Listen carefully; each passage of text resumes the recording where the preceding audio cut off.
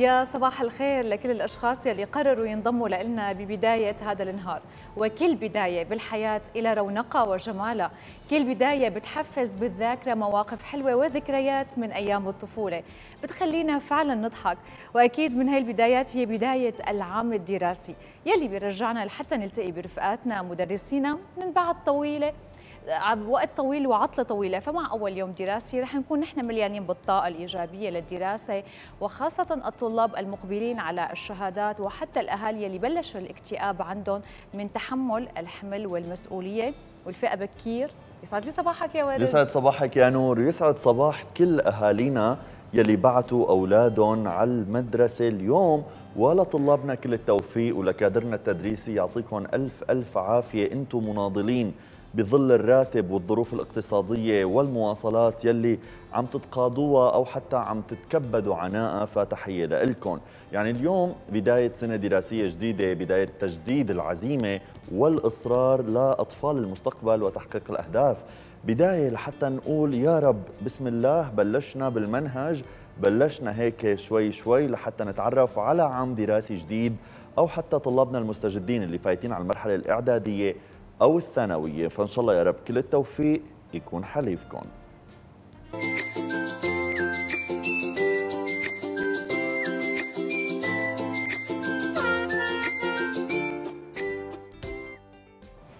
وقبل ما نبلش ونعرف شو عناوين حلقتنا لليوم بدي أسأل ورد. هاتي لنشوف. فاجئيني. أول يوم بالمدرسة شو كان يعني؟ لك هل ممكن تحس بسعادة ولا لا؟ إنه بلش اكتئاب وكتب ودفاتر ورسم ولا لا؟ في حنين لهي الذكريات. هلا ما بعرف بتختلف حسب عادات وتقاليد كل صح. محافظة يمكن. نحن بحلب كان عندنا أول أسبوع تعارف.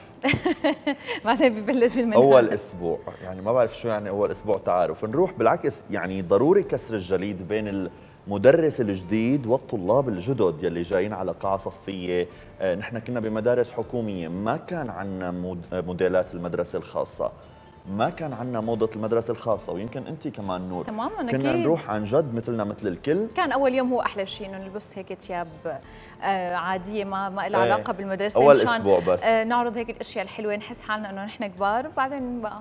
بعدين ببلش القانون الدراسي وفعلا كانت أيام جميلة. صح. بتذكر مدرسة الابتدائية مدرسة أحمد شنن كانت بمدينة حلب الإعدادية عدنان النابلسي الثانوية آه، كانت شو اسمها؟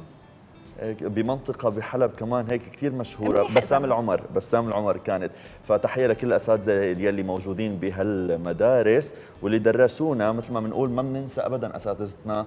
وإن شاء الله يا رب كل التوفيق للجيل الجديد. آمين يا رب. ورح نبلش. نحن ومشاهدينا نتعرف على عناوين حلقتنا لليوم بهالعرض السريع.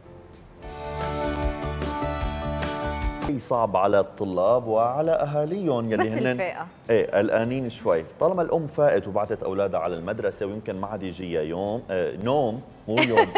ما عاد يجيها يوم مثل يوم ما تنام. على فكرة لا نور ولا أنا مصحصحين بأول يوم مدرسة. نور لأنه بعتي ابنها. على ال KG يمكن. أنا ما بعرف ليش. تعالوا نروح لعند الشيف بشرى ونشوف شو محضره طبق اليوم صباح الخير. صباح الخير يسعد صباحك يا شيف. يا نور. كونه هلأ بلشت الشهادة والأمور والواقع صار جدي. صار لازم نركز على الإكلات اللي بتغذي لحتى الطلاب يقدروا يدرسوا. okay شو محضرتي لنا طبق آه اليوم اليوم رح نعمل مقلوبة باذنجان باللحمة. آه يعني وصفة بتوقع يعني معظم العالم بيحبوها. تماما. ورح نعملها هيك بطريقة مثل العادة بسيطة وكثير طيبة. أكيد. أكيد رح ننضم لك ونعرف المقادير وطريقة التحضير. أكيد يعطيكي ألف عافية. سلام ايديكي شيف بشرى. المدرسة بلشت مثل ما اتفقنا وأول الأيام بيكون حافل بصوت الطلاب وحركاتهم وهي الأجواء خصوصا إلى لذة خاصة بين آه، جميع الرفقة يلي بيكونوا موجودين بعد غياب تقريبا ثلاث أو أربع شهور. وبين الحافز للعودة للمدرسة والدراسة والشغب والضحكة وجمع المشاعر كلها بين أيضا هيك شوي إنه يا الله رحنا على المدرسة وحنفيق بكير ولسه نحن ما عطلنا تختلط الأفعال. تماما. هو نكسر هذا الحاجز لحتى نبلش بسلام. وهلأ من ساعتين بالضبط فعلا زميلنا علاء عيسى نزل على الشارع السوري بكاميرا سما يلي رصدت هي الأجواء الخاصة لأول يوم من أيام الدراسة. وصورت فرحة الأطفال والشباب بالعودة الجديدة لأيام الدراسة واللمة الحلوة. ورجعوا لنا بهالتقرير.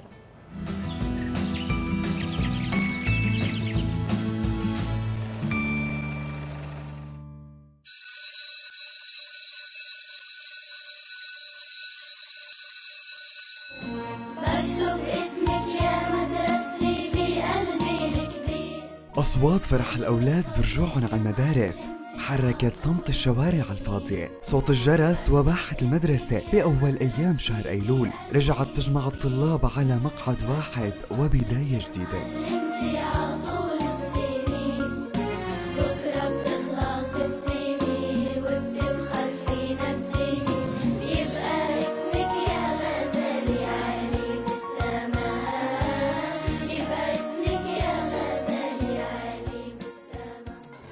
مثل ما نكون شايفين الطلاب كثير مشتاقين للمدرسة. طبعا لليوم الأول هو يوم الفرح. فأنا بنتي بالمدرسة سألتها شو استعدادك لبكرة؟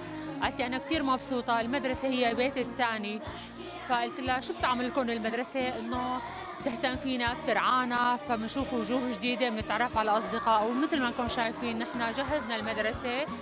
قمنا بتجهيزات المدرسة وتحضيراتها. قمنا بتنظيف المدرسة طبعا بالتعاون مع المعنيين بالأمر. ووزعنا الكتب وأدخلناهم الصفوف يعني بانتظام. هلا ما في أجمل من الطفل ما في أحلى من إنه الواحد يرسم ضحكة على وجوه أطفالنا وخاصة بيوم الفرح هو اول يوم العام الدراسي. طبعا جميع المعلمات في وحدة التطبيقات المسلكية بإرشادات وتوجيهات من مديرة الوحدة الانسه منال طبعا قامت بإعطائنا هذه الإرشادات لنقوم بأجواء فنية تعليمية ترفيهية للأطفال وخاصة طلاب الصف الأول. يعني كان في عندنا كثير أساليب مميزة. بتعرف أنت الصف الأول دائما وقت تفوت على المدرسة بيكون شوي على تعلق بأهله. فكثير بالهدايا البسيطة باستقبالهم بالضحكة آه وكثير نحن مع بعضنا البعض كأسرة تعليمية كنا من جهة الطفل. لأنه بالمقابل نحن بدنا نحبب الطفل بالمدرسة.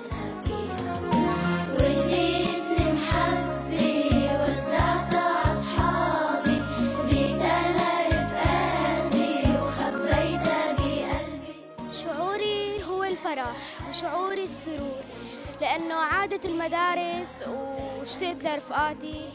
وبحب إنه أكون من المتفوقين وأكون من ال... إنه شرف ماما بنجاحي. آه كثير حلوة وبتمنى لكل الطلاب التوفيق. المدرسة بتعطينا إنه الحب الحنان بتخلينا نحب بعض إنه بتفيدنا بتعلمنا. لرفقاتي ولأنستي ولكل. المدرسة بتعطينا ألوان وبتعطينا آه، أحرف وبتعطينا مقلمات وبتعطينا علبة طعام وبتعطينا هاي شنطة. اشتريت للمدرسة وحبيت إنه أشوف انستي ورفقاتي اشتريت للمدرسة اشتريت أشوف رفقاتي كثير مبسوطة.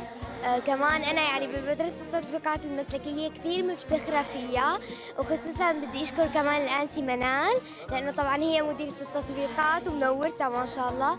أنا كثير فرحانة لأنه اليوم أول يوم وطبعا مثل ما أنا شايفين جوا في فرح وهيك يعني كثير مبسوطين.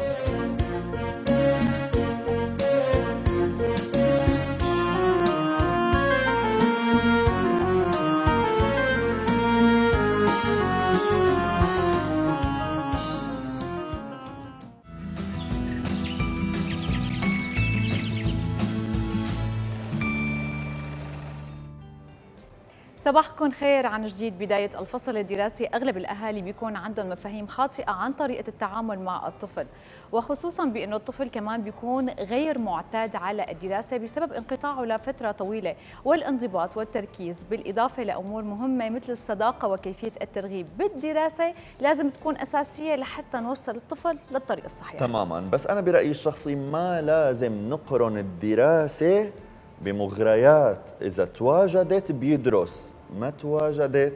ما بيدرس هي معلومة من المعلومات اللي حنحكيها خلال الفقرة واللي بدي أعرف من الاختصاصية إذا كانت نظريتي صحيحة ولا لا.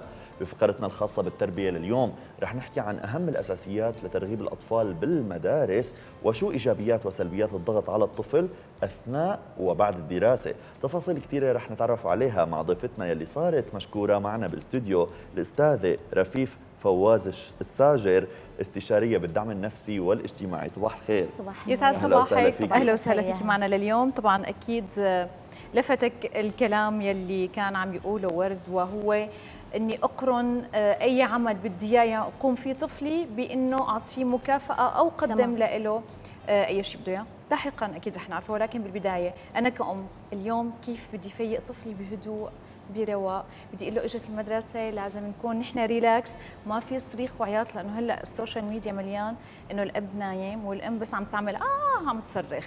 فأنا هي كيف بدي أتخلص منها هلأ حقيقه آه، نحن كأمهات اللي لازم نتخلص منها. يعني إذا أنا ماني رايقه وأنا ماني متقبلة المدرسة كمرحلة طبيعية ما راح يتقبل ابني المدرسة رح انقل الشعور تماما. فنحن مثل ما بننقل للصيف مثل ما بننقل للشتاء رح ننقل للمدرسة. هو مرحلة حلوة. آه، إذا أنا قلقانه ابني رح يكون قلقان إذا أنا متوترة ابني رح يكون متوتر. إذا أنا معصبة ابني رح يكون معصب. هي مرحلة حلوة. هلا أنا بعرف الأمهات اللي أولادهم راح يفوتوا على المدرسة هن كثير قلقات وهذا حقهم. بس لا تنقلي لأولادك. آه، هو اعتبريها مكان جديد.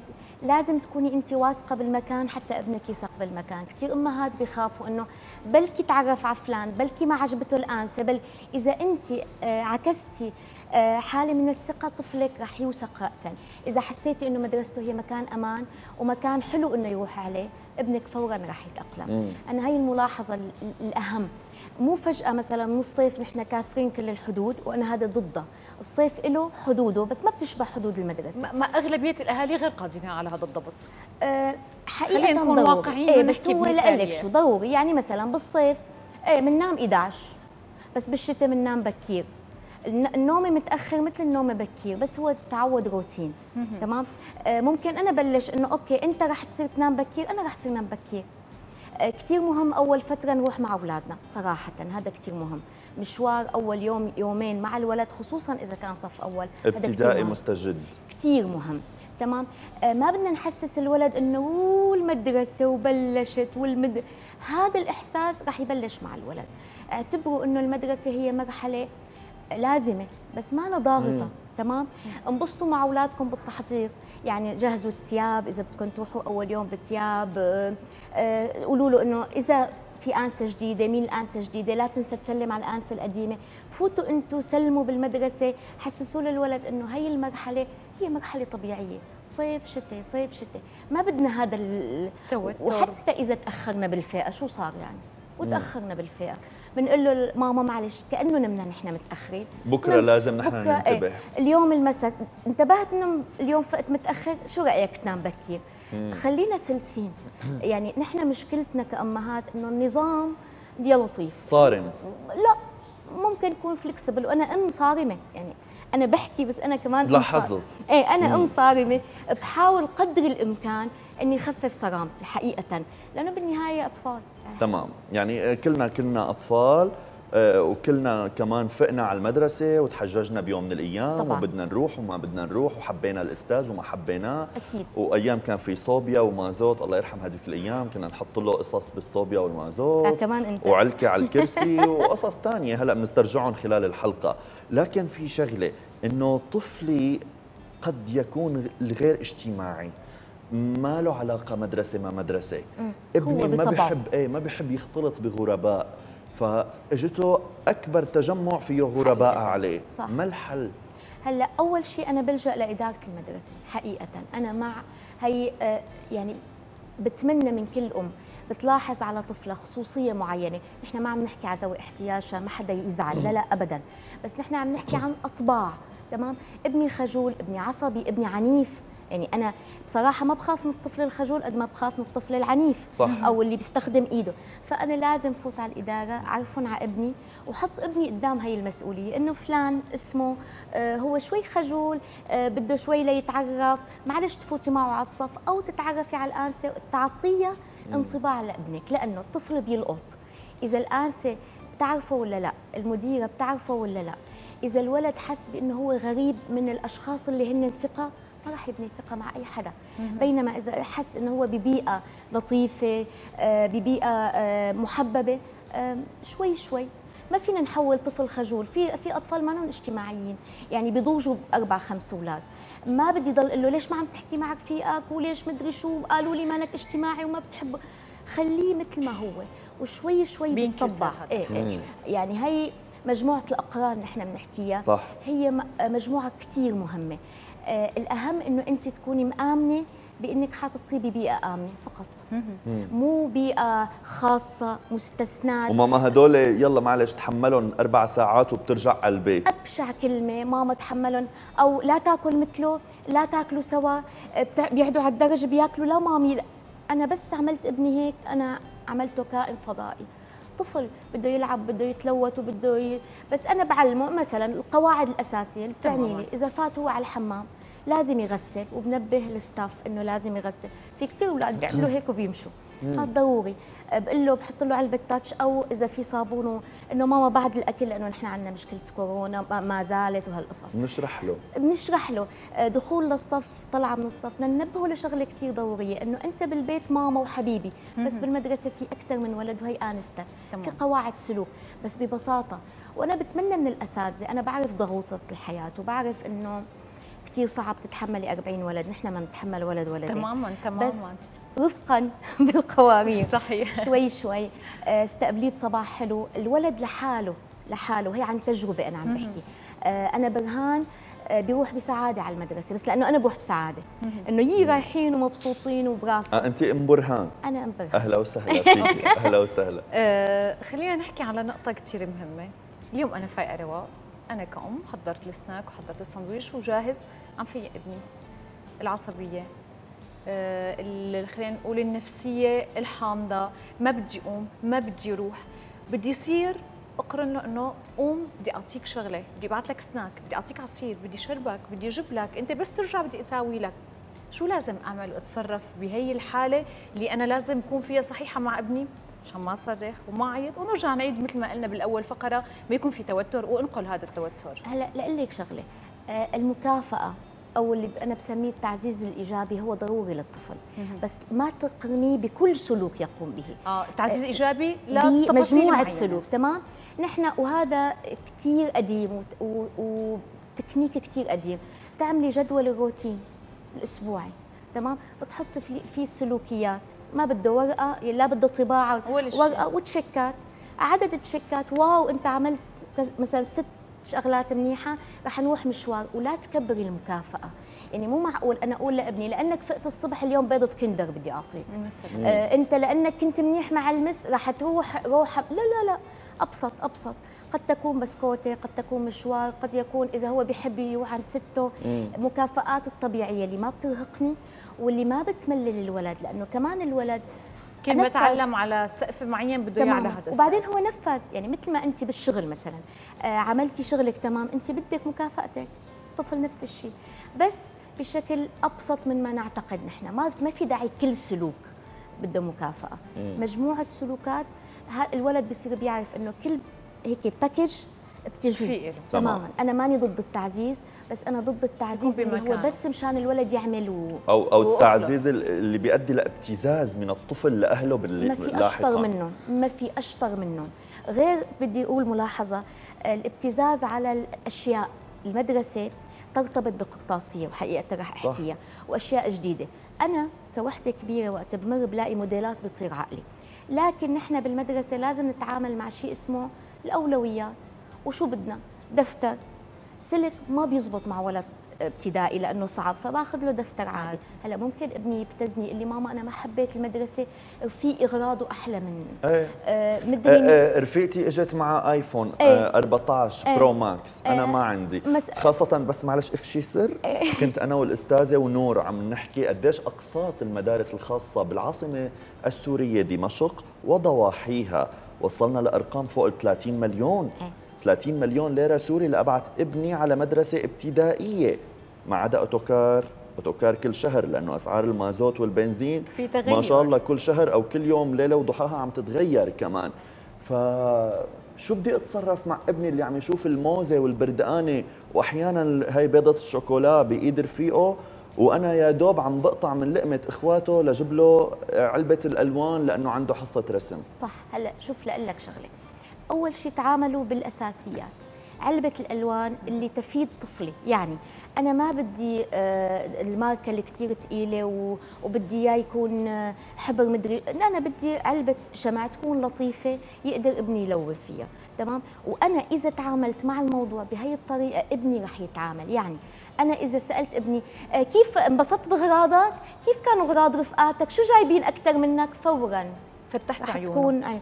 بينما إذا قلت له ماما بكفيك قلم الأزرق وقلم رصاص وصدقوني أنا عم بحكي عن تجربة. إيه الولد مثل ما انت بتعكسي له الولد رح يمشي. صحيح. وأنا عم بقول لكم أنا ككبيرة بتصير عقلي بالإقلام. صحيح. بس بمرحلة أكبر ممكن أعطي لابني أنا الخيار. صراحة رح أكون صريحة معك ورد. أنا ما باخذ ابني على السوبر ماركت ليشتري معي القرطاسية. بالذات القرطاسيه لأنه بيشتهي. أنا, أنا بجيب له إياها. وهو متعود إنه أنا بجيب له إياها حلوة ظريفة ممكن غير بلون الدفتر. بس ما بفوتوا عالم أنا ما قدراني أضبط حالي فيه. صح. وتعال قول له بعدين حط الزيت جنب النار إيه وقول له لا تشتغل إيه وهذا ظرفك وبدك تتحمله ما بيقدر الولد. هي مم. واحد. اثنين. بالنسبة لقصوصة المدارس اختاري بهي للأم والأب. اختاري المدرسة اللي بتحقق أولوياتك.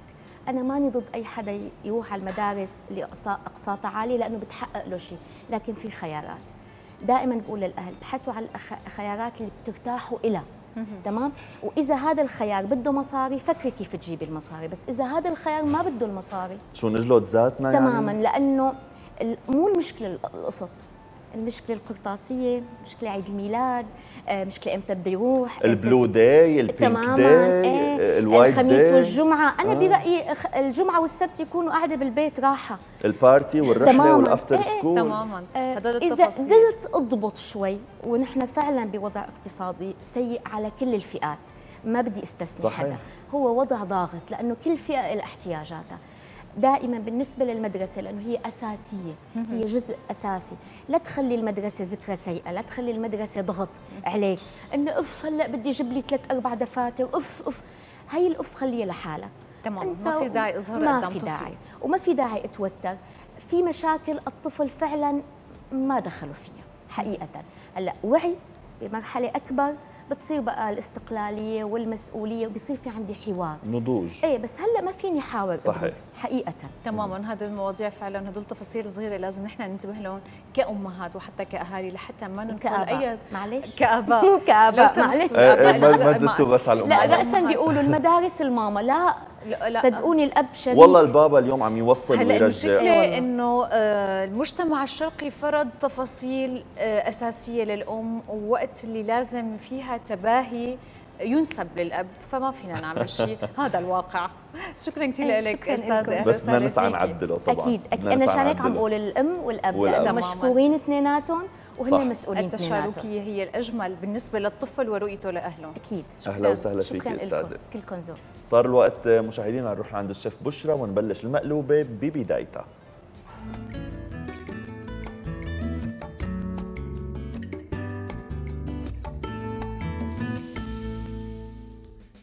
صباح الخير لكل اللي عم يتابعونا اليوم وإن شاء الله يكون يوم خير وبركة على الكل. اليوم رجعنا على المدارس وأكيد يعني معظم الأمهات فاقوا من الصبح بكير وصار لازم نحضر الغداء آه، على رجعة الأولاد من المدرسة. آه، نحن أكيد بالصيف شوي بنأخر الغداء آه، لأنه يعني الأولاد بيتأخروا ليفيقوا من النوم. بس هلأ لا لازم يرجعوا يلاقوا تقريبا الغداء جاهز أو شبه جاهز لحتى يبلشوا دراسة ولحتى يقدروا يناموا على بكير. اليوم وصفتي هي المقلوبة.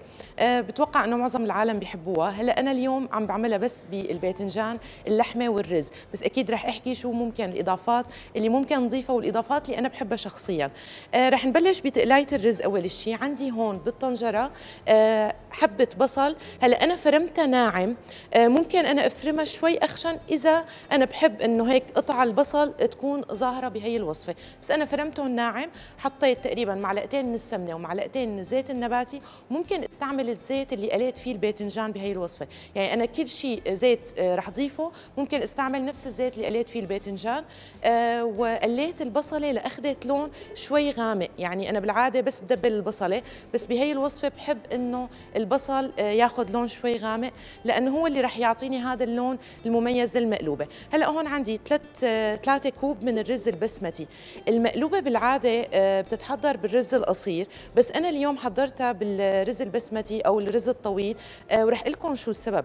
لأنه هلأ هي اسمها مقلوبة هي لازم بعد ما تخلص الطبخة إنه تنقلب من الطنجرة دغري على صحن التقديم. آه، بس في يعني في أساسيات أنا لازم تكون عندي متوفرة لحتى أنا أقدر أقلب أو أعمل هي الحركة. هلأ أنا الطناجر اللي عم بستعملهم واليوم تقصدت إنه استعملهم نفسهم هن لهم هيك مثل كيرفز أو منحني. هدول ما بيزبطوا للقلب. فبدي انتبه على هي القصة الطنجرة اللي بدي أطبخ فيها المقلوبة وقلبها بنفس الطنجرة لازم تكون مستوية يعني حوافها تكون مستوية. ممكن ما تكون متوفرة عندي أنا بكل بيت هي الطنجرة فاليوم يعني رح نطبخها ونعملها هيك بطريقة بشكل كتير حلو وما نضطر إنه نقلبها. أكيد رح حط ملح ورح حط فلفل وعندي هون مرقة سلق اللحمة آه عم بستعمل 3 كوب من الرز البسمتي بدي لكل كوب كوب ونص من المرقة. آه رح ضيفهم آه، طبعا المرقه لازم تكون سخنة كثير عم تغلي لما بدي ضيفها للرز. بس قبل ما أضيفها هون عندي أربعة ونص كوب لثلاثة كوب من الرز. قبل ما أضيفها بدي أحاول قلي شوي الرز شوي صغيرة. هلأ الرز البسمتي بالعادة أنا ما بنقعه بس بهي الوصفة آه نقعت الرز تقريبا ربع ساعة بمي عادية من الحنفية يعني ما تكون سخنة لحتى يعني هيك تساعدني إنه تستوي أسرع. نحن بالعادة الرز البسمتي بنحافظ على طعمته المميزة ما بننقعه. بس بهي الوصفة ما بدي طعمة الرز البسمتي في حال كنت عم بستعمل بسمتي. إذا كنت عم بستعمل الرز المصري أكيد بنقعه مثل العادة تقريبا ربع ساعة بمي مغلية وبعدين بصفيه وبغسله كثير منيح. وكمان نفس الحركة بقليه ولكل كوب رز قصير بدي كوب وربع من المرقة. آه رح نحكي عن سلق اللحمة بالفقرة الثانية. بس هون قبل ما ترجعوا لعند المذيعين أنا أخذت من آه يعني بعد ما أخذت كميتي للرز مرقة اللحمة عندي هون البيت الباذنجان بعد ما قليته. طبعا الباذنجان أنا آه بس قليته بالزيت ما تبلته لسه. هلأ هون مرقة اللحمة اللي بقيت. رح أحط لها ملح لأنه أنا مرقة اللحمة ماني مملحتها. ورح بلش نزل آه، قطع الباذنجان أو شرائح الباذنجان يعني تقريبا عشر ثواني بس. رح نزلهم وأرجع قيمهم آه، حطهم على جنب لتخلص عندي الكمية. ما رح نزل الكمية كلها رح نزلهم على دفعات. هلأ بهيك حالة بيكون الباذنجان شرب من مرقة اللحمة ومن بهارات اللحمة وطريوا عندي شوي. أكيد أنا رح كملهم هدول ورح كمل الرز رح ضيف المرقة وبعد ما تغلي عندي رح هدي النار آه وفي عندي كمان شغلة نسيتها. آه كل قطع الباذنجان اللي بقيوا يعني أنا بعد ما أخذت الشرائح كمان رح ضيفهم مع الرز رح نزلهم هلأ. ضيف المي آه غطي طنجرة وهدي النار ليستوي عندي الرز. هلأ أكيد رح ترجعوا أنتم لعند نور وورد تتابعوا باقي الفقرات وأنا برجع بلاقيكم بالفقرة الثانية لنكمل وصفتنا لليوم. يعني على قد ما بحب الباذنجان المقلي وبحب أي شيء بخص فيه الباذنجان على قد ما بطيئه لهي الأكلة. على فكرة في كثير ما بحبها ابدا.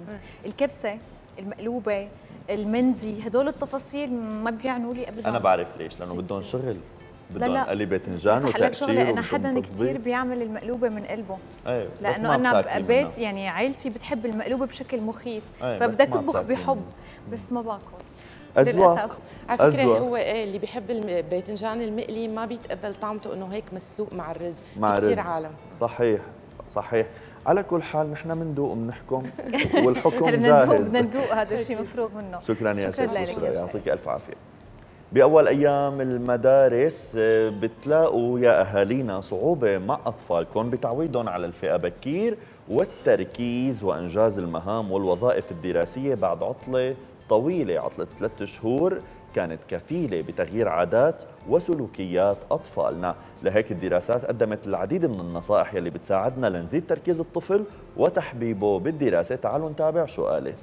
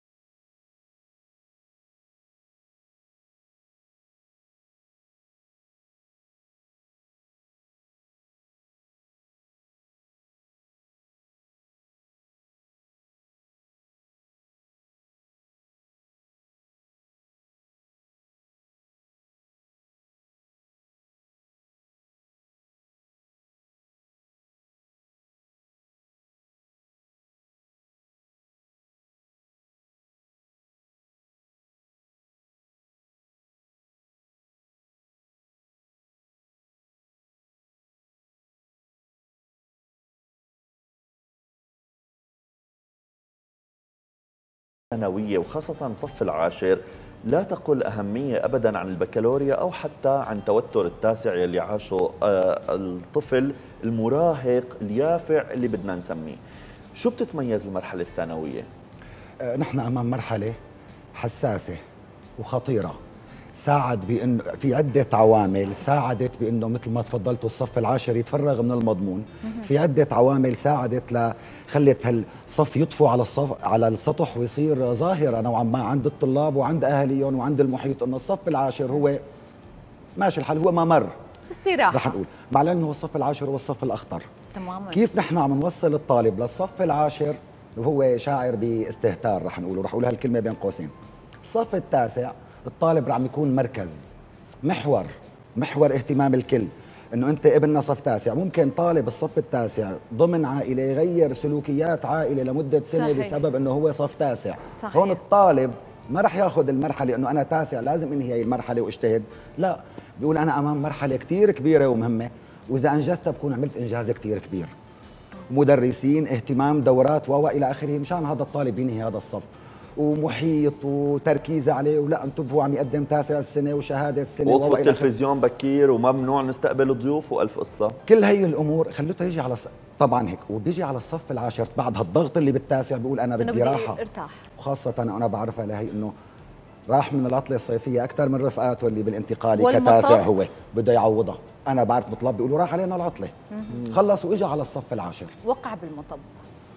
العاشر كأهل. أنا بقول كأهل مو كطلاب. الطالب مو مسؤول. الطالب نحن بنوجهه بنقول له يا داك أو كتا وفوك نفخ. أنت اللي عملت هيك. ما نحن اللي عم نمشيه خطوة بخطوة. بالتاسع هو مبرمج روبوت ونحن اللي عم نمشيه. نقول له بدك مدرس. مدرسين إجوا. الانسه إجت. أحيانا طالب لهم ما بدي مدرس بده يجي المدرس. لازم يعطيك لأنه أنت تاسع. وصل على العاشر إنه أنا خلصت المرحلة الأكبر اللي هي التاسع. وبالعاشر بنصير نصغر المرحلة الأهم اللي هي البكالوريا. بنقول له للطالب انت عاشر بيمرق. حادي عشر بنمشيك تحضير بالبكالوريا. بتمشي أمورك. كلمة بين قوسين بتمشي أمورك. البكالوريا ما أنا متجر رايح أنا نقي منه أغراض. البكالوريا هي مرحلة بدي أبني من خلالها لقبي لباقي حياتي. مهنتي وصنعتي. هي حصاد العاشر والحادي هي كل شيء.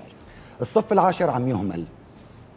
ابننا بالمدرسة وفي مشاكل بتصير أهالي بي بيكبروا أمور بتكون هي بسيطة. الولد اجى مسج من المدرسة إنه أنا جاب عشرة من عشرة بأحد المواد كتسميع وهذا التسميع بيكون تسميع ممكن يكون الطالب أخذ العلامة بجهده أو أخذ العشرة بشكل هيك جمعا.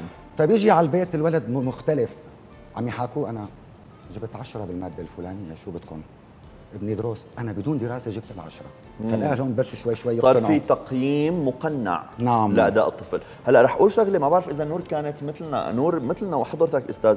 العاشر عندنا كان فيه فلسفة وتاريخ وجغرافيا ووطنية وفيه رياضيات وفيزياء وكيمياء وعربي. يعني فيه علمي وأدبي. فأنا إذا مقرر من البداية بدي أقدم بكالوريا علمي فأنا ما بهتم لا بالفلسفة ولا بالجغرافيا ولا بالتاريخ ولا بهالدول مواد شو ادبي أو إذا بدي فوت أدبي فشو الفيزياء. والكيمياء وكذا. بيلتغوا هدول المواد مثل ما تفضلت. فبيطلع بيخلص الصف العاشر الطالب على الحادي عشر في مشكلة هون. بيقولوا له أنت هو تاسع خلص تاسع حادي عشر عاشر ما في نسبة العاشر 10% وكتروا كتار. يعني صار الصف العاشر بكل أسف ثقافة إنه بيمرق. ما في داعي. الطالب ما عم يدرسوا نسبة قليلة مشان ما نقول نعمم معظم الطلاب آه معظمهم ما فينا معظم الطلاب بالصف العاشر عندهم راح الحادي عشر شو رأيك بالتأسيس للبكالوريا من الحادي عشر؟ نلغي الحادي عشر وندرس البكالوريا سنتين. الطالب بهي المرحلة الخطيرة بيعرف إنه ما عنده امتحان بنهاية العام. مستحيل يلتزم. تمام. رفقاته أنت ما عندك فحص ليش عم تقول والله عم إجي. بيقول لك أنا عم إجي هيك أقعد. والمدرسين ما بيهتموا. ما وفي بيهتموا. مشكلة كمان بالصف العاشر. كمان قلنا الأهل في بيلعبوا دور بالصف التاسع. كيف بنهيئ الطالب للتاسع؟ بنضخم الموضوع كثير بيصغر العاشر. المدارس. كمدرسين في مدرسين بيقول لك أنا الصف العاشر ما بحسن أدخل لعند هدول الطلاب. صعبين. بيقولوا لك صعبين هدول الطلاب. طالعين من ضغط سنة مخيف. إنه جايين من تاسع ما بدهم يدرسوا. دائما ما بدهم ليش ما بدهم يدرسوا؟ بيحسنوا. وبتحسن توجههم وتشغلهم. وتورجيهم أهمية هي المرحلة. هي نقطة. ليصل منها الطالب. يعني والمدرسين ما بيدرسوا العاشر. طبعا مدرسين النخب بدرسوا بكالوريا. بيقول لك أنا بدرس بكالوريا بيعطوا هذا الوكيل إنه العاشر وكالة. أنا بعتذر عم أشر بإيدي شغلات لا أعنيها ولكن هيك العرف المجتمعي إنه. يلا على طول المستجد الأستاذ اللي جاي منقول اللي عم يكمل عدد ساعاته من المدرسة الثانية لأنه ما اكتمل نصابه ال 21 ساعة. أخذ. أي. موضوع خطير. يعني مدرس النخبة أنا باخذ بس بكالوريا. طيب يا مدرس وكتار مدرسين النخب يعني ما أكثرهم صاروا المدرسين المهمين بالبلد صاروا كتار. مدرس النخبة لما بيأسس طالب العاشر. بيوصلوا على البكالوريا طالب نخبة. بيريحوا. يعني أسس الطالب من العاشر. بالعكس يعني إحنا كمان بيقول لك إنه طالب البكالوريا ممكن أنا بدي أحكي يعني ممكن تسمحوا لي كأجر بيقول لك أنا البكالوريا بياخذوا أجور أكثر طيب خلينا نقابل القصة خلي الصف العاشر مدرس العاشر ياخذ الأجر الأكبر ويهتم أكثر بالعاشر. بيجي على الحادي عشر الطالب مهتم نرتاح بالبكالوريا. بيريحنا ما بيعود عبء. يعني لابد إنه المدرسين يعرفوا إنه الانتقالي مهم. أنا بعطي بس تاسع. ليش؟ إذا بتعطي السابع وبتأسس معه صح هذا الطالب السابع بضل معك تاسع. دائم. تمام. بضل على طول وبيشكرك دائما إنه أنا تأسست على يد فلان. مو أخذت البكالوريا على يد فلان. تمام. بيقول الاساسات كانت هي الأهم. مشان ما نترك هذا التراكم لوقت البكالوريا ويفوت الطالب بالحيط. نعم. طب رح نحكي عن نقطة. أنت ذكرت نقطة كثير مهمة أستاذ بأنه أنا أسس العاشر والحادي عشر للوصول للبكالوريا بسلام. طيب أسست بالعاشر كثير بالحادي عشر مل الطالب بالبكالوريا. هل هذا الشيء صحيح؟ شو لازم أعمل أنا؟ إنه أنت لازم عندك علمي وأدبي، ركز على هدول المواد، لازم بيكون ال- الحادي عشر هو انفصالي بين البكالور بين الأدبي والعلمي، حدد، احفظ، ركز، آه، بصم. مشان البكالوريا أنت تحصل المعدل الصحيح، هون الطالب مل ما عاد يجي على باله يدرس. هذا الملل هو شيء يعني الطالب بيبتكره. إنه أنا مليت. هذا الشيء غير مبرر. كيف يعني أنا مليت؟ إذا أنا اخذت طلعت من الصف العاشر بشكل جيد واهتميت بهذا الصف ما عاد يشعر الطالب بالملل. ليش بيشعر بالملل؟ لما أنا دخلت على المدرسة عندي خمس حصص. العربي أنا مستوعب المادة الفيزياء مو مستوعبة بدي اشعر بالملل لأنه أنا أساساتي غلط. الرياضيات وبيعمل هيك بيقول أنا رياضيات. إيه ما بتهمني؟ ما لأنه ما له أساس صح. بالحادي عشر لأنه حدد علمي أو أدبي يعني حادي عشر علمي وعنده مشاكل عنده عنده ثغرات ثغرات قديمة. ما عم يحسن يرممها. الأهل بيقولوا يلا بالبكالوريا بتمشي. الأمور. الأستاذ اللي عم يدرسه بالبكالوريا مهما كان مدرس ما حيقدر مبدع. يعدلك 11 بكالوريا على المعلومات؟ نعم. هو ما- مهما فاضي. ما انه قادر وهذا بيعطي منهاج. أربع كتب رياضيات. الأستاذ بده ينهيهم. أربع مواد برياضيات. بده يأسس. بيقول للأهل بيقول لكم ابنه ابنكم أساساته تعبانة. يعني شو ما طلع معه آخر السنة جيد. فبيعطيهم هي الحالة. الولد خلص بيشعر بالإحباط. إنه أنا ما عندي أساس. وبلش يندم. لازم الولد يستثمر وقته من هلأ بالصف العاشر وتنظيم الصف العاشر ما هو صعب. كيف؟ أنا بعرف أحد الطلاب يلي بالبك... بالتاسع كان جايب علامة كاملة هي السنة الماضية. الأم على كثر ما تعبت قال جبت لك علامة كاملة بالعشر لا تقربي علي. بالعشر كان رح يرسب بالفلسفة. لأنه أهمل كثير أخذها بشكل يعني أخذها بإهمال إنه أنا بالعاشر بالتاسع جبت الحد الأعلى خلص لازمني استراحة. تنظيم المرحلة الثانوية مهم جدا. الولد بده يعتبرها ككتله كاملة. لا هو بيعتبرها راحة. راحة. أنا العاشر بدي أرتاح الحادي عشر الفصل الثاني بشد. هيك بيقول بشد. يا آه. ابني أنت مو راكب هو اللي ما سيارة شد من بدك الأول ما رح يشد بالآخر. إيه يا ابني أنت البكالوريا بكالوريا يعني أنت اسمك دال نقطة ميم دكتور مهندس لقبك لباقي حياتك. يا اهتم بالموضوع يا بلا هالقصة. طيب أه، قبل ما يتداركنا الوقت حقول شغله كثير مهمة وبتمنى الإجابة بعجالة. أه، ما في طالب أو طالبة بيفوتوا على المرحلة الثانوية إلا هن بالغين جنسيا. عم نحكي عن فترة المراهقة وتحول الطفل إلى رجل وتحولت الفتاة إلى امرأة جنسيا عم بحكي وبيبلشوا بقى الغرائز الجنسية بتتفجر ومدرسة الشباب جنب مدرسة البنات إذا ما كانوا المدرستين فيهم أه، الجنسين سوا. كيف بدي وجه طفلي وحضرتك مشرف تربوي وموجه وجه طفلي يتقبل التغيرات الهرمونية والجسدية بجسمه وبالنفس الوقت يركز بمنهج التحليل والمتراجحات ونقل معادلة خطية و هذا العامل بيتطلب الوقت تنظيم الوقت.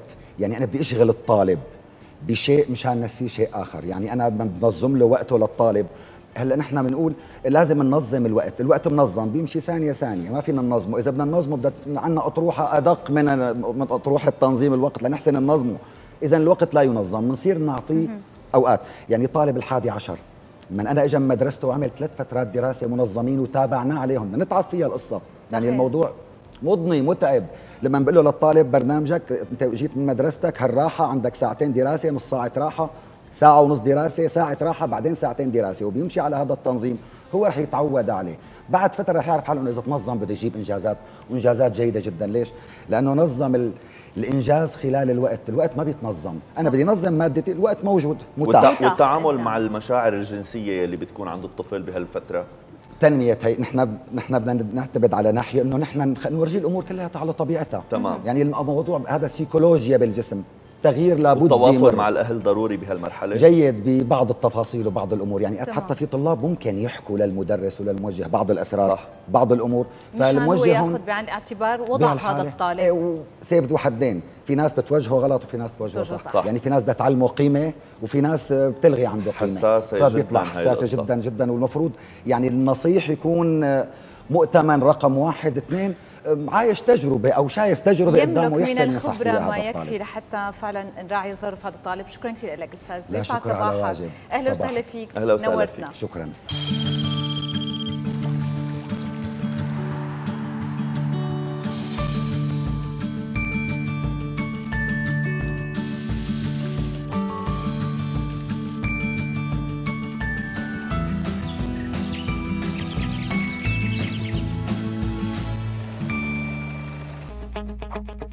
افتحوا أبواب المستقبل واكتشفوا الأفق الواسع مع مركز جلجامش.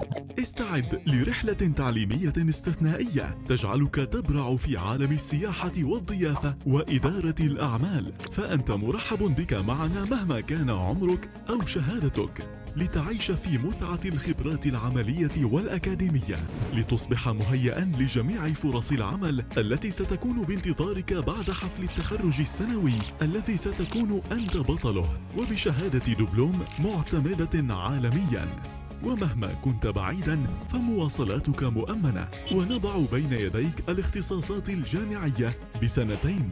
إدارة الأعمال مكاتب الطيران والسياحة marketing and graphic design اللغة الألمانية.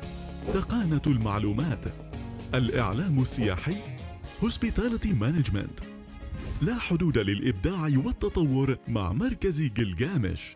نحن بانتظارك. يسعد صباحكم. عن جديد صار الوقت لحتى نكمل وصفتنا لليوم. اليوم عم نعمل مقلوبة باذنجان باللحمة. هلا نحن بالفقرة الأولى عملنا الرز والمفروض الرز يكون استوى. دائما لما بدكم تقلبوا الرز وت... وتتأكدوا إنه استوى أو لا استعملوا شوكة لحتى ما يتكسر عندي الرز.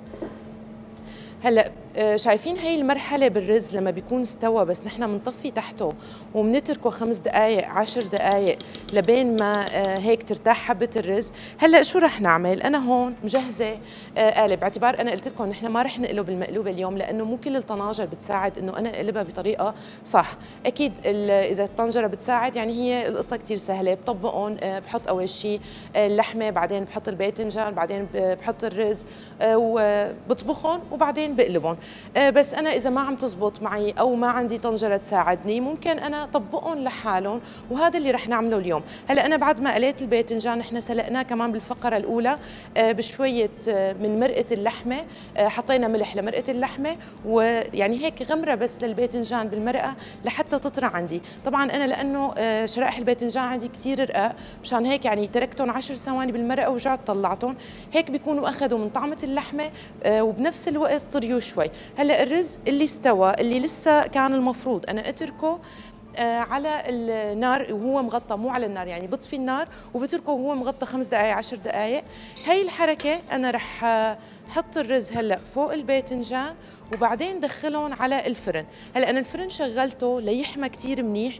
وقت بدي أحط القالب بالفرن رح طفي الفرن أكيد. أه واتركه تقريبا 10 دقائق ربع ساعة. بعدين رح أقلب عندي المقلوبة. هلا اللحمة خليني أحكي لكم عن سلق اللحمة على السريع شو البهارات اللي حطيتهم لبين ما أعبي القالب. حطيت عود قرفة أكيد أساسي عود القرفة وكبش القرنفل كثير أساسيين بسلق اللحمة للمقلوبة. آه نحن بالعادة بنحط مثلا عود صغير من القرفة وثلاث أربع حبات من كبش القرنفل آه بهي الوصفة آه لازم كترهم شوي يعني حط عود أو عودين كبار من القرفة حط مثلا شي 10 حبات كبش قرنفل لأنه طعمة القرنفل مع هي الوصفة كثير طيبة. إذا ما عندي قرنفل حب ممكن استعمل القرنفل الناعم. ما عندي الاثنين ممكن استعمل البهار اللي هن سبع بهارات لأنه بيكون في من ضمنها هي البهارات اللي بتعطي طعم كثير مميز للمقلوبة. آه، حطيت مي أكيد غمرت اللحمة عم استعمل لحمة شقف عم استعمل نص كيلو من اللحمة. آه، غمرتهم بالمي على البارد كلهم. آه، وبس بلشت اللحمة عندي تطلع الرغوة بقيمة كلها. وبعد ما تغلي واتاكد إنه أنا طلعت الرغوة كلها آه، إمتى من اللحمة بعدين بحط البهارات. قلنا بنستعمل عود آه، أو عودين من القرفة آه، كبش قرنفل حب هيل ورق غار أنا بستعمل فلفل أبيض حب وبستعمل بصل وثوم مجففين شرائح.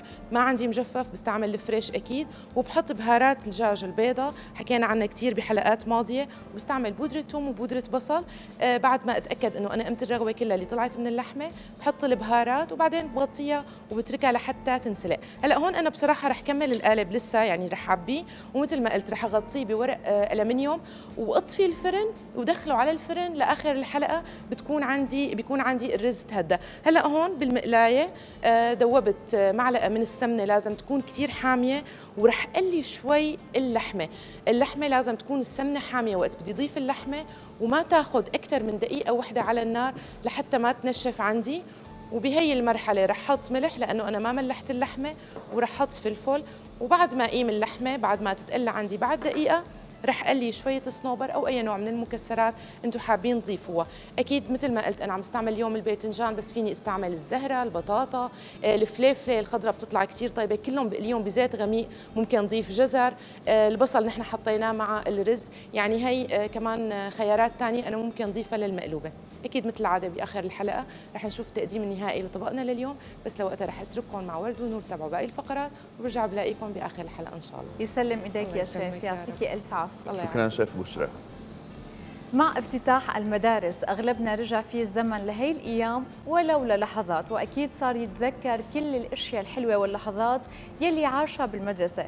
ويمكن نحل طريق المدرسة أو حتى لسندويشة الزيت والزعتر والتفاحة يلي كانت أمهاتنا تطبلنا إياهم وتجهزهم الصبح وليجي وقت الفرصة ونفرض الأكلات. تماما ونتشارك. وعلى طول بيكونوا أكلات رفقاتنا أطيب من أكلاتنا.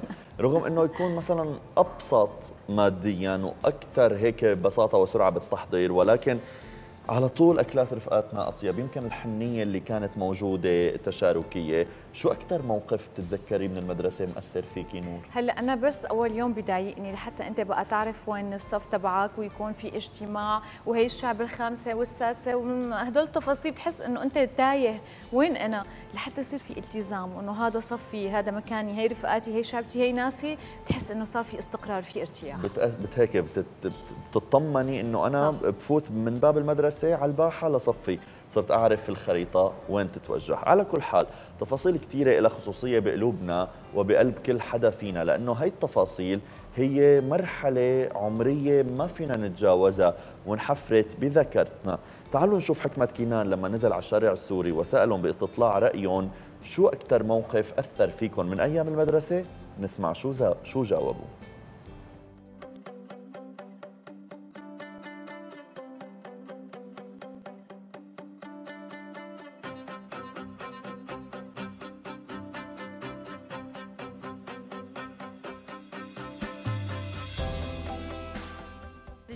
أنا بقدر أحكيك على كل المراحل غير إنه كنت طالبة وكذا أنا بسلك التدريس درست 35 سنة. فبشعر بالطلاب مثل ما بشعر آه، وقت الطفولة. آه، هلأ أيامات المدرسة وقتنا كانت كثير شيء حلو.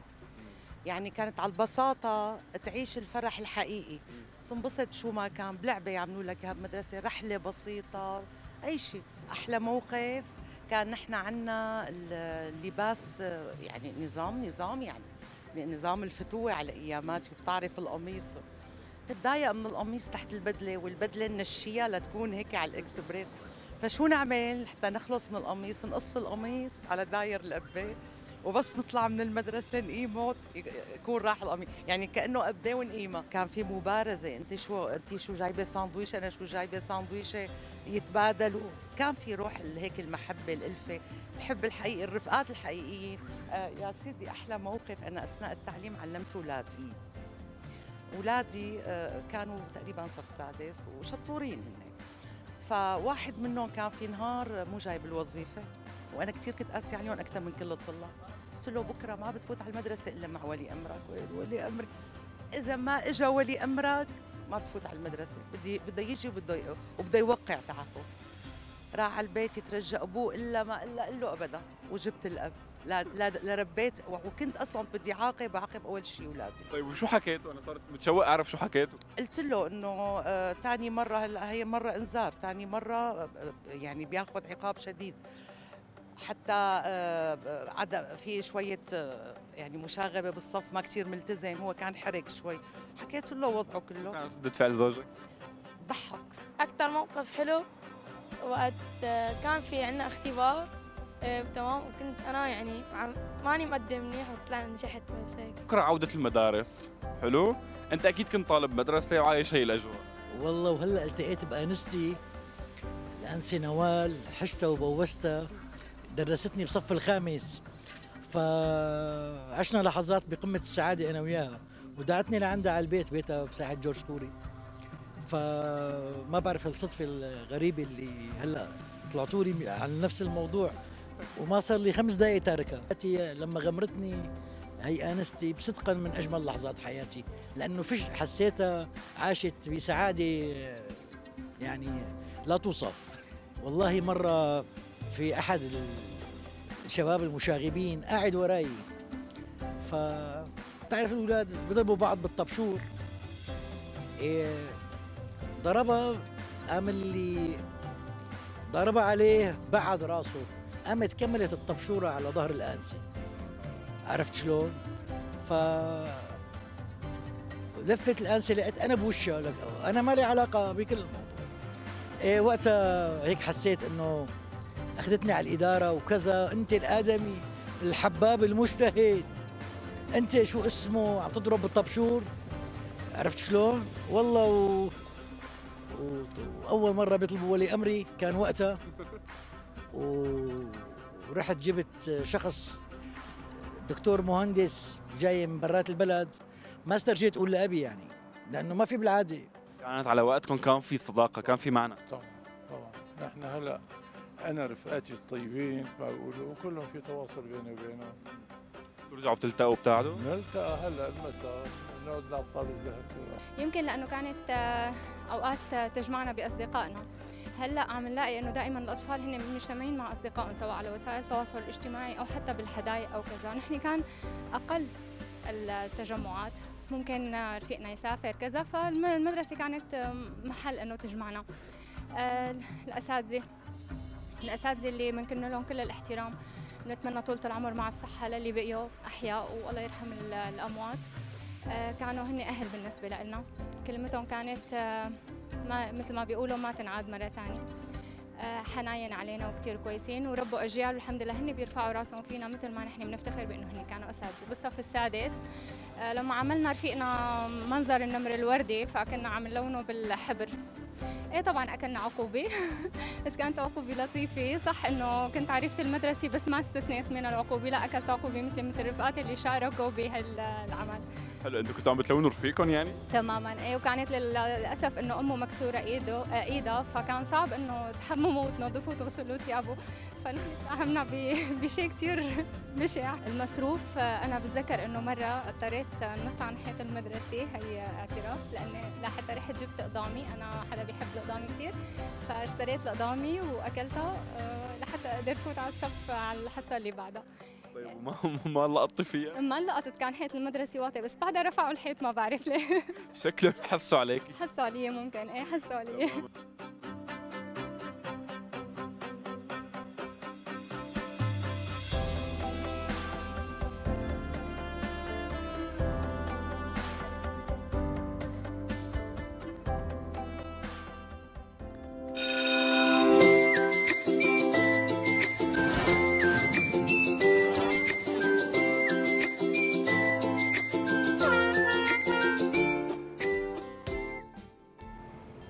وصلنا معكم مشاهدينا لفقرتنا الطبية التجميلية يلي رح نحكي فيها عن الدبل تشين أو الدقن المضاعفة المزدوجة. يمكن يكون مفهوم غريب نوعا ما عند بعض الأشخاص ولكنه شائع الانتشار بالآونة الأخيرة خاصة مع السمنة المفرطة أو المتوسطة يلي عم تصير عند بعض الأشخاص سيدات أو رجال أو اللي كان عندهم وزن زائد وتخلصوا منه بعملية جراحية أو بداية غير مدروس. تماما. وفقرتنا لليوم رح نخبر كل مشاهدينا عن الدقن المزدوجة شو هي وشو هذا المفهوم وكيف لازم نحن نتخلص منه وشو الحلول المناسبة وآلية العلاج. كل هاي التفاصيل رح يخبرنا عنها الدكتور شادي رحمة الاستشاري والاختصاصي بالجراحة التجميلية من باريس. يسعد صباحك دكتور. صباح الخير أهلا أهلا وسهلا فيك. دكتور أهلا يسعد. صباحك. عم نحكي عن الدبل تشين أو اللي بنسميه باللهجة العامية اللغلوغ تماما. هذا اللي هون عشيله من لغليغه إيه إيه تماما. هذا اللي هون بيكون موصول بالرقبة فورا تمام. من أسفل الذقن. شو أسبابها طبيا؟ طبعا دائما آه، ورد آه، بدنا نعرف أول شيء شو دقن مضاعفة. يعني دائما على طول يعني شيء أكثر شكاية حاليا آه، بالعيادات هي الدقن المضاعفة. يمكن بي- بي- بيجوز بيجو- بسبب استعمال هالمفهوم هذا على وسائل التواصل الاجتماعي بالفترة الأخيرة. طبعا الدقن المضاعفة هي الكتلة اللي بتوجد تحت الدقن لكن مو بس نعمل هيك أي حدا بس يعمل هيك. حتى بتطلع. حتى ال baby اللي عمره سنتين بيطلع له دقن مضاعفة. نحن الدقن المضاعفة هي الكتلة الموجودة بحالة الراحة. يعني إذا الشاب أو الصبية واقفين عندهم هالكتلة هي أو هالترهل هذا الموجود طبعا هذا الترهل ممكن يكون شحم فقط. آه وهذا شيء كثير منيح وممكن يكون شحم وجلد وهون المشكلة. آه طبعا دائما الدقن المضاعفة لها عدة أسباب أهم سبب أهم سبب حاليا هو ال- يعني آه، مش آه، مشكلة المشاكل اللي هي. الموبايل دائما الوضعية هي اللي نحن بنعملها هي بحد ذاتها هي عم تمدد الجلد يعني عم تعطيه مساحة أكبر من الجلد بس يكون الرا- الراس بوضعية ال- ال- الراحة أو الراحة. فدائما الموبايل ال- طريقة اللبس الطقم والكرافات مع أو عند المحجبات أحيانا بعض أنواع الحجابات اللي بتحصر فيهم الشحم والجلد بهالمنطقة هي وبتجيبهم إذا- لقدام. تماما لكن السبب الأكثر هو زيادة الوزن زياده الوزن دائما بيتوضع الشحم بمناطق مختلفة من الجسم ومنها منطقة العنق. هلأ أحيانا نقص الوزن إذا الواحد فقد وزنه بشكل كثير كبير ممكن يصير عنده دقن مضاعفة لكن جلد فقط وليس شحم. الجينات آه، بعض العائلات أحيانا توضع الشحم عندها مختلف آه، ما في عندهم مرونة أو كولاجين بالجلد أحيانا شكل عظام الوجه أو شكل الوجه كمان بيعمل دقن مضاعفة. أحيانا كمان الشيخوخه الشيخوخة بتؤدي لنقص الكولاجين لفقدان مرونة الجلد وهذا بيؤدي للدقن المضاعفه تماما. هي خلينا نقول عليها آه، ال double chin أنا كيف بدي أتخلص منها؟ عم. نشوف إبر ال meso. تماما. وإبر التدويب. يعني وجلسات عليكي. ال HIFU. تماما. وم- يعني في كثير تفاصيل. الحل النهائي ماذا تمام. يحتاج؟ دائما البنات والشباب بيحبوا الحل السريع أو شعبنا بيحبوا الحلول السريعة صحيح. والحلول اللي هيك تجارية. آه يعني دائما لازم ننبه إنه بدنا نشوف هي الدقن المضاعفة ليش صايرة. يعني هل هي شحم فقط أو جلد وشحم أو فقط جلد. هلأ إذا كانت نحكي عن العلاجات أول شيء بعدين نحكي عن الشغلات الغير مفيدة. آه، إذا كان في عندنا آه، طبعا شحم فقط وهي بتكون عند الصبايا والشباب الصغار كثير بالعمر أو السمان آه، إجراء كثير بسيط مدته خمس دقائق تخدير موضعي. نستخدم جهازين إما جهاز ال ultrasound اللي هو الأمواج فوق الصوت اللي هي بتحطم الخلايا الشحمية وبتذوبها أو إنه بنستخدم شيء اسمه ال Vaser. بنعمل فتحة كثير صغيرة 2 ملي أو فتح ثلاث فتحات من على الجانب آه، و- وبندوب الشحمات كلهم وبنطلعهم لبرات الجسم. هلأ إذا كان في عندنا جلد وشحم فهون نحن مضطرين إنه نعمل شد. هلا الشد بيكون كمان على نوعين إما بيكون شد أفقي بيكون في هون طية بشكل موجودة بشكل طبيعي. من آه، هون. بنشد بهالشكل هذا بشكل عمودي بس لازم تنشفط أول شيء إجباري إجباري. أوكي. أو إنه بيكون في عندنا ترهل جلدي كثير كبير. آه، فالفائض هون لازم. مجبورين نحن نعمل شد جراحي بجرح كثير مخفي من وراء الإذن. آه، بنشد فيه الجلد وبنقصه هلأ أحيانا بيكون في عندنا مثل عند الختايرة بتلاقي في عندهم عضلتين آه، بشكل حرف صح. سبعة أو بشكل حرف ثمانية مقلوبة.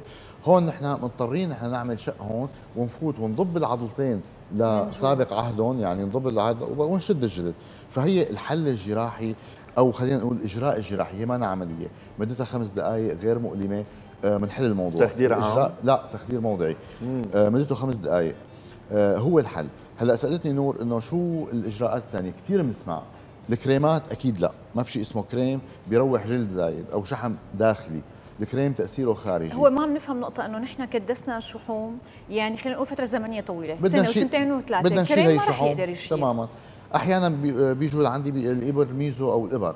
هي أوكي ممكن تفوت تفيد جزئيا بنسبة 10% لكن ببعض الحالات بتؤدي لتليف ولتلف الأعصاب. مم. تلف الأعصاب لأنه هي عبارة عن حالة للشحوم بالتالي بتحل الغمد تبع العصب بتؤدي لاضطرابات عصبية. آه. خلينا نخلص منها غمد الشوان إيه ال- الخيوط.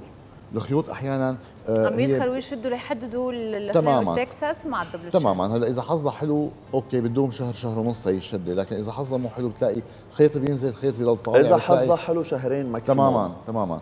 لأنه في عندك وزن ورد هي مثل طبعاً. مبدا خيط نايلون عم يشد فهذا بحكم الجاذبية الأرضية بده يرد ينزل. بيرجع واذا. حظها مو حلو بتلاقي صار عندها عدم تناظر خيط نزل خيط ضل معلق. آه، الإجراءات الثانية هي التمارين الرياضيه ما في شيء اسمه عند مثل ما تفضلت. أو في- مساجات. في عندك كتلة شحمية وجلد زايد بدهم ينشالوا بدهم ينحلوا فالحل اللي حكينا عليه هو الحل النهائي وهو الحل ال- الأمثل. الأمثل والمفيد. يعني آه، كنت عم شوف على إحدى القنوات التجارية هدول الكرتين اللي بنعملهم هيك قال وبترجع الدقن آه، لقد تغيرتوا بسرعة أسبوع واحد هلا أنت بعد ما تشتري الكرتين تستعملهم شهر وبيختفوا الكرتين حتى على الإنترنت بيختفوا ما بيقعد موجود. ما في. طيب تمام. دكتور آه، فينا نرافق هاي العملية الجراحية أو الإجراء الجراحي مثل ما. سميته حضرتك مع عمليات ثانية إنه نحن فتنا وفتنا فبدنا full package تمام. هلا هون شقين. أحيانا هي العملية ترفق بشغلات ثانية أحيانا مثل ما تفضلت نور أحيانا بنعمل التكساس أحيانا بنعمل الغقور يعني في ناس بيكون عندهم الخدود سمينه بنعمل لهم الرسمة أو تضاريس الحلوة على الوجه. أحيانا بنعمل بإستئصال شحم الخد تماما. آه، بس لكن بنبه مو استئصال داخلي. يعني هي العملية اللي هلأ عم شو نشوفوها يعني داخلي؟ يعني إنه يعني بنعمل؟ بنعمل شق داخل باطن الخد صحيح. وبنفوت بشكل أعمى د- بكرر بشكل أعمى. يعني جراح ما بيكون عم يعرف شو عم يصير جوا. بناخذ كتلة شحمية من جوا وبصير غقور أول شيء في عندنا هون قناة لعابية في عندنا عصب وجهي في عندنا استئصال. غير متناظر ممكن يصير يعني ممكن يصير في عندنا تشوه لأنه أنت عم تقيمي شحم بشكل غير متناظر وبشكل أعمى وفي عندنا آه، شغلات تشريحية اللي ممكن يصير عندها سي... يصير سيلان لعاب مزمن مم- من داخل الفم ممكن يصير عندنا شلل بالعصب الوجهي فالاستئصال الشحم من داخل بطن عملية غير موصوفة علميا أو غير. الحل؟ ممكن نحن من من ثقبة خارجية آه، بطريقة عن يعني بالليزر ممكن نحن ندوب شحوم الخد. في عندنا طبقة شحمية كثير سطحية وهي غير آه، ضار يعني غير خطرة ازالتها ممكن نحن نلعب فيها ونعمل نحت بحيث إنه نعمل تضاريس. ممكن نعمل كمان أحيانا آه، حقن الخدود مع مع الش- الشحمات اللي بناخذهم من هون بنعمل فيهم خدود أو دكتور بس كأنك عم ترسم الوجه تماماً. بشكل دايموند عم ننحت الوجه. يعني نحن إذا عملنا تكساس جوز وعملنا خدود شوي وجنتين وشدينا من فوق ورفعنا بالبوتوكس العينتين وعملنا العيون اللوزية تمام. وكذا فنحن رسمنا منحوتة. والله إنك معلم. إيه شفت؟ في يعني في لمسة. في لمسة. إعلامية ولمسة جمالية تجميلية. يعني دائما هي mode بتجي مشان نكون صريح معكم. يعني تمام. أحيانا كيم كارديشيان بتدرج لشغلة معينة أحيانا ما بعرف مين جينيفر لوبيز بتدرج فهي mode أو ترندات بتروح وبتجي. لكن أنا بقول إنه ممكن عن طريق آه، نحت الوجه أو لعب بتضاريس الوجه نعطي الشيء الطبيعي الحلو الجذاب اللي فيه انوثه هاي مهمتنا كجراحين تجميل وليس مهمتنا إنه نلحق الموضة الفلانية اللي ممكن ما تلبق اللي ممكن- لصبية. تماما. واللي ممكن خلال ست أشهر تروح يعني تكون نفخة خدودها بعد سنتين صارت موضة ثانية فهون بقى اقعد حلها يعني اقعد اسحاب الشحم اللي هو بيكون تليف. فأهم شيء نعمل المنحوتة الحلوة الجذابة اللي بتناسب المريضة والمزوقة واللي فيها أنوثة. هذا أهم شيء تماما. عم نحكي عن السيدات. نسينا الرجال. الرجال في لهم حصة من ال double chin دا المزدوجه دائما الرج- المراجعين الرجال من ناحية double chin أكثر لأنه مو بيلبسوا طقومه وكرافات فهن بيعانوا منها وسنتهم أكبر فهي فبصير دائما. في التصاق بالرقبة وال تماما. واحيانا. بتكون كثير كبيرة. بنلجا لشق أفقي وشق عمودي. هلا فاتني أقول لكم شغلة إنه double chin غالبا نحن بنعملها مع عمليات تجميلية أخرى. مثلا عندها شد بطن عندها شد وجه عندها تكبير صدر دائما نحن وبحكي بسرك يعني دائما نحن نقدمها كعرض أو ك- ك- كادو. هيك ككادو كادو إنه. تفضلي طبعا لأنه نحن يعني كجراحين تجميل بتلفت نظرنا هي بستعمل هيك بالعيادة بتلاقي ضربت على عيني يعني بتلاقي في شيء ما حلو. فلازم وهو خمس دقائق فهي نحن بنكون مبسوطين إنه خدمناها وهي تكون مبسوطة إنه حلت مشكلة ثانية قد تحتاج لفوته مرة ثانية على العمليات تمام تماما. والرجال؟ الرجال دا- آلية العمل كالتخلص من نفس السيدات ولا نفس لا؟ في الشيء تكنيك تماما. ثاني نفس الشيء تماما لكن شكل الجرح يختلف. كونه في لحية في لحية. فدائما هو الرجل يعني كثير بيتردد يجي لعنا بيربي دقن أول شيء مثل معامل ولد بيخبي شوي. بس ما في chin دكتور ثواني. ورد-. أنا أنا ورد هلا وشي. سالت. يعني أنا كنت عمله للدكتور طالما الدكتور آه، ما شاء الله استشاري من باريس بالجراحه التجميليه إنه اعطونا حل لما نعمل diet okay نحفنا 7 8 كيلو بس عم يسلط الوجه ال diet المدروس اللي شوي شوي والله مدروس وشوي إيه. شوي حكيت لي تحت الهواء انه إيه. إنه 150 غرام يعني كثير منيح إيه. يعني بس إنه إن شاء الله إيه، سلوكك الغذائي وعاداتك الغذائية تحافظ عليها بحيث ما. ترد ترجعهم هي أكثر شيء بنعانيها. يعني الشباب اللي بينقصوا وزنهم بتلاقي راسا ما قاوموا يعني. حتى لو عملوا double chin عندك ورجعوا فتحوا لها أكل شوف ترجع شوف ناكسة. نسينا نحكي إنه انقاص الوزن هو ال step 1 يعني أول مرحلة مشان تعالج الدقن المضاعفة هو نقص وزنك بشكل مم. بطيء ومتدرج. هي أهم جراحة. فمعناتها انقاص الوزن ثم بنلجا لموضوع الطبي أو الموضوع تمام. الجراحي. رح ننتقل لسؤال ورد. تفضلي الديمومه يعني ما بتنقص يعني أنا اليوم عملت شفطت وشديت وسويت الجرح المخفي طبعاً. خالصين أكيد لا أكيد. تعاود لا تعاود إلا إذا أنت عاودتي العادات السيئة عندك يعني آه إلا أوكي اذا يعني أنا في حال رجعت افرط إذا رجعتي. سبنتي لك 30 كيلو بدها تعاود اذا رجعتي كمان حفتي 30 كيلو بدها تعاود لكن طالما أنت stable أو ماشية بشكل كثير منيح عم تمارسي رياضة عم تاكلي أكل حلو اللي هو فيه خضروات فواكه فيتامين C هذا كل آه، فيتامين E هذا كله مفيد لنوعية الجلد. وبالتالي وتجنبي كمان أهم شيء الموبايل. يعني في الوضعيات السيئة اللي هي وضعية الموبايل هي وضعية كثير ضارة ك double chin وكديز أو بعض الطلاب هلأ عم يدرسوا تماما. على طول هيك. بتلاقي قاعد قاعدة ما مضبوطه يعني هي الوضعيات كثير مهمة سواء لل double chin أو لغيره. فدائما الوضعية أهم شيء نعدل الوضعية العادات السيئة اللي عندنا اللي هي أهم شيء كثير خطير. الانقاص الوزن بشكل مدروس ومتدرج. وإذا ما مشي الحال نلجأ للموضوع الطبي اللي هو شيء كثير بسيط والزرع سهل. الحمار الخضار اللي بيصير. بالسحجات أو الشد أو في العمل عندنا. نفخه بسيطة بعد ما ندوب الشحوم في عندنا نفخة بسيطة لمدة آه، تقريبا شي فينا نقولها جمعتين؟ ثلاثة. تماما. فينا نرس... آه، نلبس لها مشد. هالمشد ليس قصري وإنما الصبية أو الشباب بيلبسوا بالوقت اللي ما حدا عم يشوفه وهو قاعد بالبيت. ممكن يلبس مشد خفيف. لمدة ساعتين ثلاثة اول أسبوعين ثلاثة والنتيجة بتدوم آه، أقل شيء 15 سنة أقل شيء. تمام. يعني ما ضل غير نتشكرك كثير لوجودك ومعلوماتك دكتور شادي. لكم. وهيك الأمل اللي عم تعطيه للصبايا وللشباب إنه في إجراءات صارت ممكنة ما تيأسوا. دائما إذا العقل شغال وال- والصبية عرفان شو بدها وجراح التجميل ماهر وخبير كل شيء متاح. والجيبة مليانة. مو لهالدرجة. مو لهالدرجة مو. لهالدرجة مو لهالدرجة. شكرا دكتور. أهلا وسهلا. دكتور. فيك أهلا وسهلا أهلا فيك وسهلا. وهلا مشاهدينا فاصل صغير وراجعين لنكمل حلقتنا. ابراجنا وشو مخبي لنا الفلك مع مدام نجلة أباني. صباح الخير يا مدام. صباح الخير يا. صباح الخير يا نور. صباح الخير للجميع. تضلوا دائما بخير ودائما أيامكم سعيدة. اليوم 3 أيلول. يعني 3 9 سبتمبر تمنياتي للجميع بالخير. كواكبنا ما زالت في أماكنها ما زال آه، عطارد متراجعا في برج العذراء بمكانه. يعني هلا هذا عم بيخلي تنبيه شديد اللهجة على أمورنا الكهربائية على أمورنا اللي لها علاقة بالإنترنت على موبايلاتنا؟ يعني كل شيء إلكتروني كهربائي لازم ننتبه عليه بهي شوي بهالفترات شوي لأنه مو كثير أريح وكل شيء له علاقة بالسفر على كل الأحوال. مستندات أوراق يعني ما كثير بشوف الأمور أريح الأريح. أما الزهرة فأنا بقول باشرت تقدم في برج الأسد ابتداء من اليوم هي يفترض بكرة بس يعني باشر التقدم في برج الأسد عاملة نوع من أنواع المضايقات للعقرب لبرج الثور وبالتأكيد لبرج الدلو. هلأ الخريطة الفلكية هي بتعني إنه مواليد برج الحمل السرطان الجدي شوي لازم ينتبهوا صحيا. بسبب تراجع أو تقدم المريخ في برج الميزان.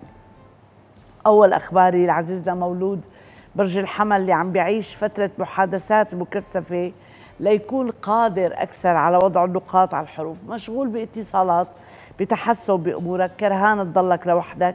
يوم سعيد. علاقات متنوعة حلول أو مساعدات وربما تميل إلى الفنون أو عندك هيك أجواء مشعة حواليك.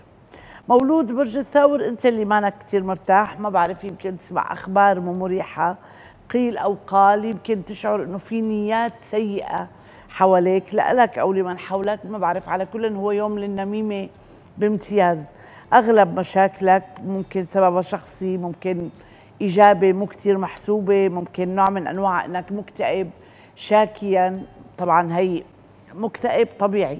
بس شاكيا ما بحياته بيعملها مولود برج الثور بس اليوم كأنك عم بتفكر بالماضي السعيد. مولود برج الجوزاء اليوم اجتماعي بامتياز عم تستعيد علاقاتك قديمة عندك حياة اجتماعية عندك قصص العلاقة بأفراح يمكن تعارف على أصدقاء جدد غرباء ربما أو من غير لهجتك. اليوم عم تفرح لدعم أو تأييد عم تفرح لعلاقات شخصية في مناخ حولك إيجابي لتطور صداقاتك. اتصالات أو قنوات للتواصل. مولود برج السرطان أنت اللي مانك مرتاح والحقيقة عم بتفاقم الخلافات بدلا من إنك تهديها. اليوم كثير بحاجة للراحات بحاجة إنك تحذر الصدامات وإذا أردت نصيحتي حاول تسمع آراء الآخرين وتهز براسك. هلأ ممكن يكون فيهم نوع من أنواع الصحة خاصة إنه اليوم أنت حساس لأي كلمة سوء وغالبا طاقتك اليوم قليلة. على فكرة ممكن يكون عندك شيء صحي لك ولبرج العقرب اليوم. مولود برج الأسد اليوم الأمور جيدة بالنسبة له إيجابية الظروف مساعدة. لتتحرك بأوساط مشجعة ليكون حواليك شجاعة. لتوصل لأهدافك عادات ناس ظروف معرقلة متعة تسلية. يعني اليوم اليوم جيد لمساعدات من المحيط لمولود برج الأسد. وهاتفك لا يتوقف رن اليوم اموره جيدة كمان العذراء عندك مساحة للتحرك بحرية. أنت أكثر ثقة بنفسك عم تفرح لتعامل من حولك بطريقة إيجابية. ما في عراقيل بالعكس الأمور أكثر هدوء أكثر دبلوماسية. عم تتعامل مع الكل بطريقة إيجابية وعم تقرأ المتغيرات الحاصلة وعم تتصرف على أساسها. الميزان انت اللي مانك كثير مرتاح المسائل المهنية عملت لك بعض المضايقات. ما بعرف في شيء من التأجيل تأخير؟ يعني في شيء ممكن يكون صدام بينك وبين الناس اللي حواليك. نظم مواعيدك اولا لأنه اليوم في تأجيل أو تأخير يمكن. ثانيا حاول تحذر المشاكل. يعني بلاها هي كلمة مني كلمة منك تخلق شجار. وتذكر إنه ما في حدا فينا كامل. ولا أنت ولا أنا عموما. في أخطاء صغيرة فينا نمرقها بلطف وبهدوء. مولود برج العقرب اليوم عنده إحساس إنه أنا كل الشغل علي كل الشغل على كتفي وما حدا عم بيساعدني وما حدا عم يشتغل شغلي. أنا أحسن واحد أصلا بشتغل بس يعني أنا متعب بعملي ومكسل وما بعرف إذا في قصة صحية شاغلته اليوم لمولود برج العقرب. هلأ بالأكيد العقرب محب للعمل بس اليوم بالذات كأنه عم بيروح وقته بسهر بزيارات بعلاقات بدون ما يخلص شغله المتراكم. تغلب على مزاجك الرديء لأنه مزاجك مو كتير رايق وأهم نصيحة تنتبه صحيا. مولود برج القوس اليوم الأمور لك إيجابية وجيدة خاصة بالعمل. أنت عم عندك توقيت مناسب اليوم لترتب أمورك معتمد. على ابتسامتك تفاؤلك ثقتك بنفسك.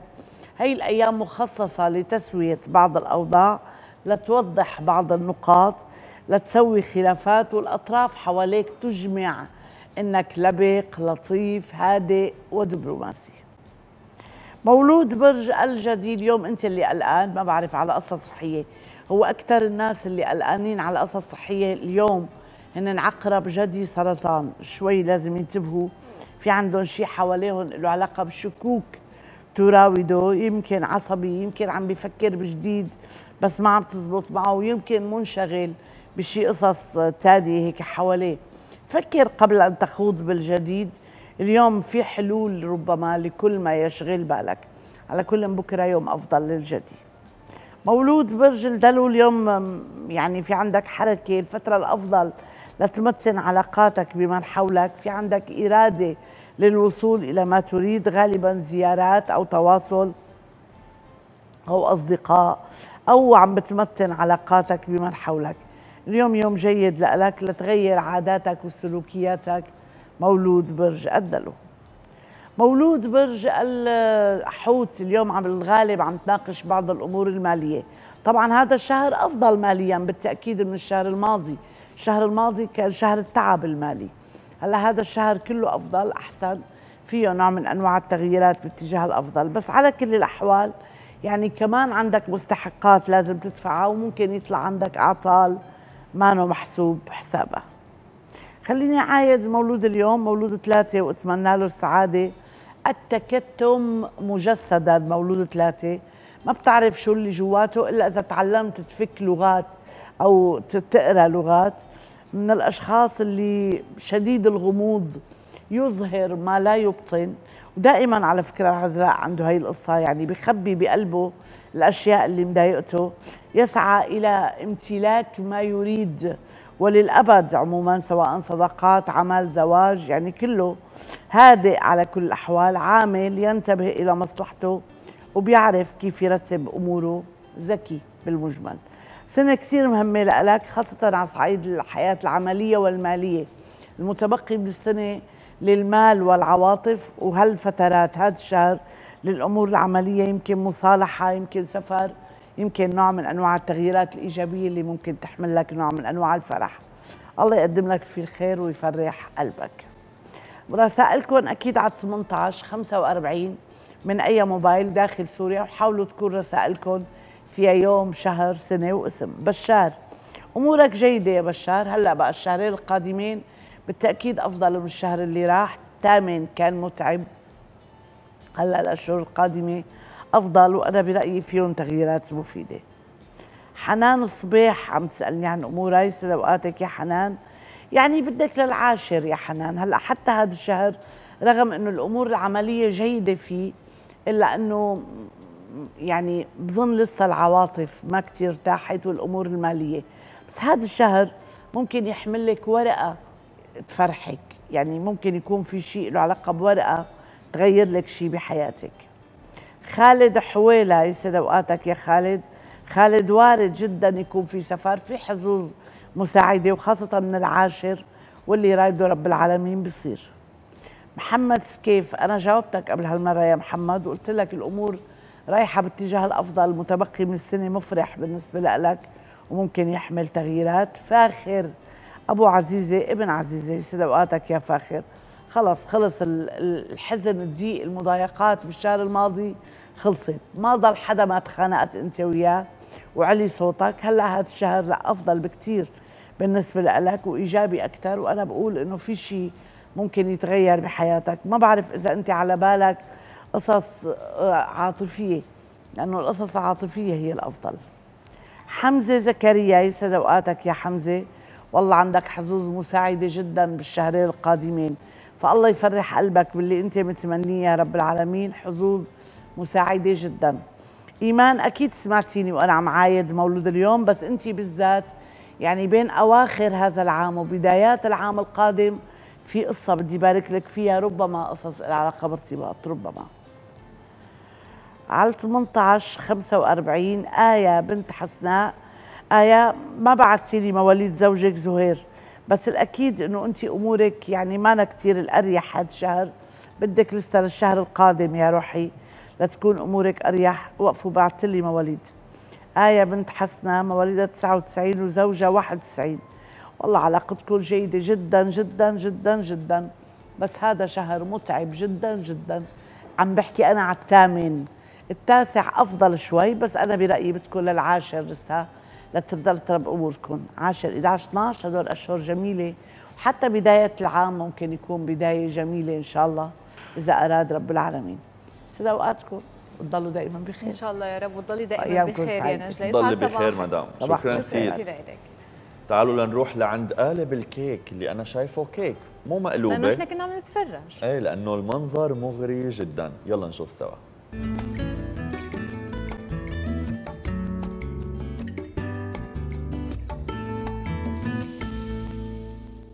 صباح الخير عن جديد. وصلنا لآخر الحلقة وأكيد وصفتي صارت جاهزة. آه نحن اليوم عملنا مقلوبة آه مقلوبة بالباذنجان واللحمة. آه وحكينا شو الإضافات اللي ممكن نحن نضيفها. هلأ أنا قلت ببداية الحلقة إنه أنا استعملت الرز البسمتي آه لأنه أنا عملت كل مكون لحاله. يعني طبخت الباذنجان لحاله اللحمة الرز وبعدين طبقتهم ودخلتهم شوي على الفرن بعد ما حميته وطفيته.